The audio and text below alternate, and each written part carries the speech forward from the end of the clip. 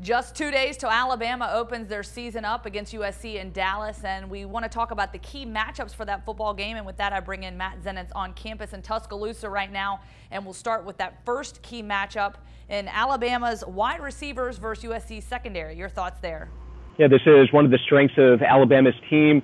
The the wide receiver group, arguably the the deepest and most talented wide receiver group in the country against one of the strengths of USC's team, the, one of the strengths of USC's defense. They have a couple of very good corners, including a projected first round pick for next year in Adoree Jackson, former five star recruit in Iman Marshall.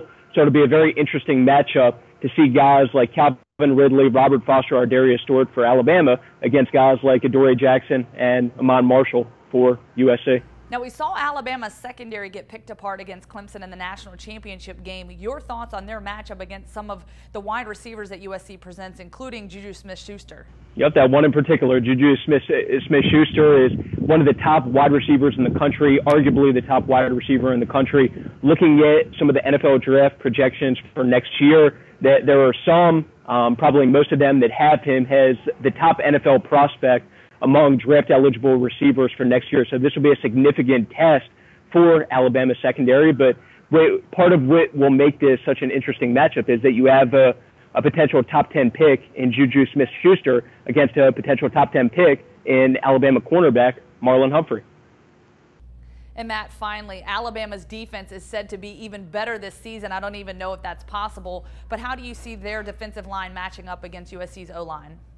Yep. So, like I said, with the with the matchup between Alabama's receivers and USC's secondary, that that's one of Alabama's biggest strengths against one of USC's biggest strengths, and it's the same thing with USC's offensive line against Alabama's defensive line. USC's offensive line is full of potential NFL draft picks.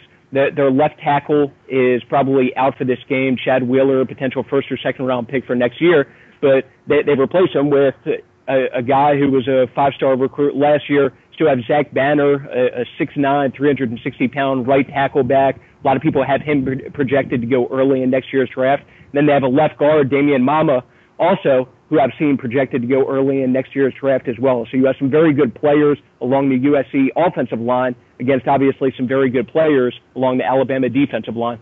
All right, Matt, thank you so much. Have a safe trip to Dallas and for all your game updates and post-game report, tune into AL.com.